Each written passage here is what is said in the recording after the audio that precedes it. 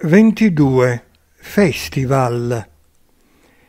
Abbiamo partecipato in 3000 al Festival della Scogliera, dove all'inizio c'è stata un po' di tensione con i contadini del posto perché avevamo devastato i campi, ma senza violenza non c'è liberazione.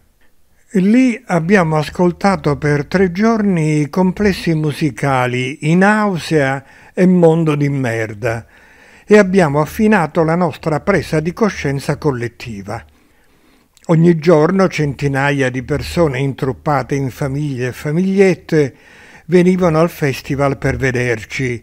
A un segnale facevamo scattare l'operazione Ludibrio, per cui 10-15 di noi giravano per il campo con il cartello drogato sul petto e urlando toccavano il culo alle signore.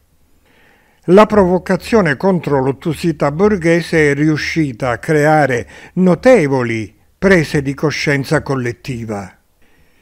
Il festival è poi terminato con questo comunicato. La dura repressione della polizia contro le droghe leggere ha coinciso con l'enorme diffusione delle droghe pesanti, eroina, cocaina, eccetera. A Bugheria si sono visti i risultati di questa subdola manovra governativa. Alcuni hanno venduto eroina e stricnina, causando così diversi svenimenti.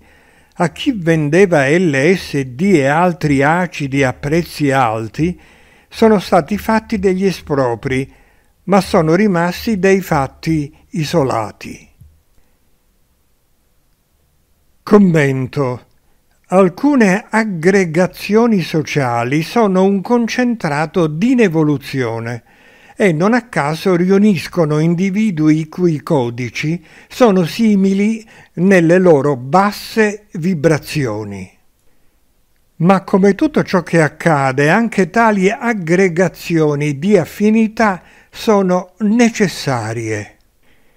Nel suo intimo però ognuno deve disgustarsi per tutta questa inevoluzione, contribuendo silenziosamente alla sua consumazione.